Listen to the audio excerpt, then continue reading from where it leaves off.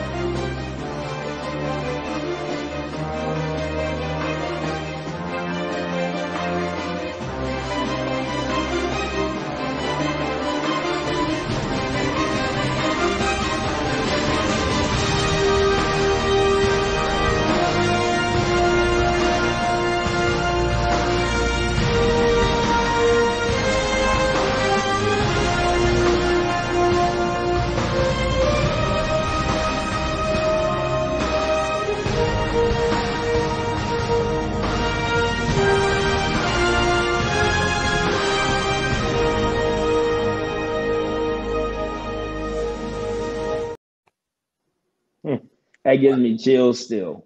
Man, it, it gives me chills as a fan.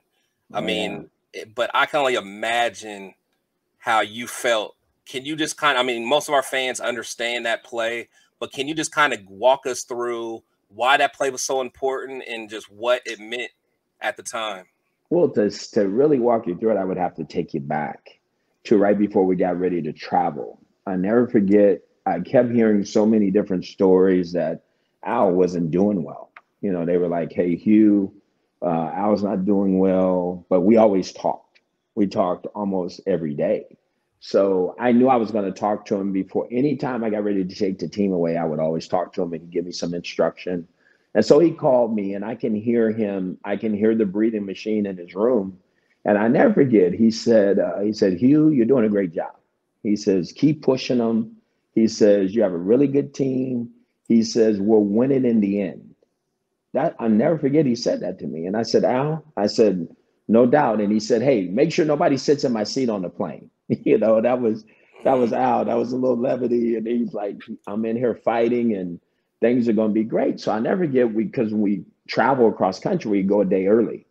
So we got to Houston, you know, we left on a Friday, got there Friday evening and here we are. And like you said the news mark came to my room and told me i had to tell the team that, that morning what was going on and here's this game. And like i told the guys before we went out the one thing he would want us to do is go win this game. That's just who al was you know everybody would play it.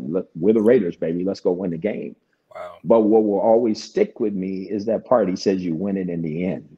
Mm. so as that play was going on i was told Hue will only have 10 guys on the field. And I could have took a timeout mm. and said, hold up, but the ball was about to be snapped. And I go, let's play it. And something said to me, play it. Just mm. let it play out.